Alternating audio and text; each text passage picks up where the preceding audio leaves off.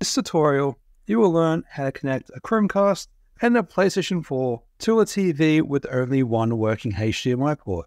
So here we have a Chromecast and a PlayStation 4. This case is a PlayStation 4 Pro, but the PlayStation 4 Original or the PlayStation 4 Slim will be the same in this case. And you want to connect it to a TV with faulty HDMI ports. So let's say there's the HDMI ports there. They're my HDMI ports. Let's say there's three faulty ones and only one working. How do we connect two devices to only one port? So let's find out. So we're going to be using this device. This is a HDMI switch. So this allows you to connect three devices to a TV using only one HDMI port.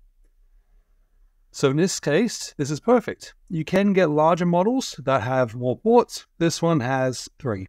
So for two devices, this is enough. Plus it gives you a spare for something else later. So let's connect it up and I'll show you how it works. So now we have everything plugged in.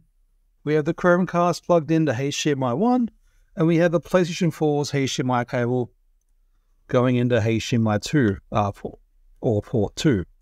And then the HDMI out is going to the TV's working HDMI port.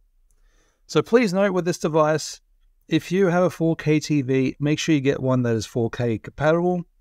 Uh, that is displayed by having HDMI 2 ports, compatible ports. So make sure when you buy one that is compatible with your TV.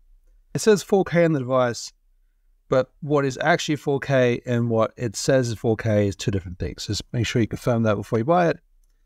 And then we have this here is the remote control plug, which connects to the remote control sensor.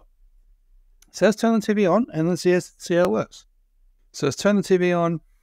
Then we need to press the input button to select the right HDMI port that's working. So in my case, I select HDMI 1 and now there's the Chromecast. So to switch between the Chromecast and the PlayStation 4, we need to use the remote control for the HDMI switch. There is a button on the switch as well, but we'll just demonstrate the controller. So Chromecast is HDMI 1, the PlayStation 4 is HDMI 2. So there's the PlayStation 4, it's loaded up, and then we press the button again on the remote for 1, and it'll bring up the Chromecast.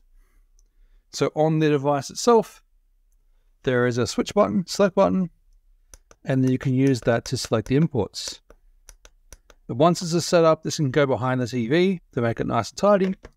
Uh, but as you can see, it works with this TV.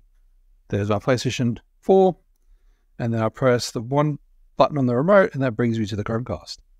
That's how you do it. That's how you connect a Chromecast and a PlayStation 4 to a TV with only one working HDMI port to learn something else, click on the videos on the screen now. You have a request for a tutorial. You can visit PayPal and request it there. And thanks for watching.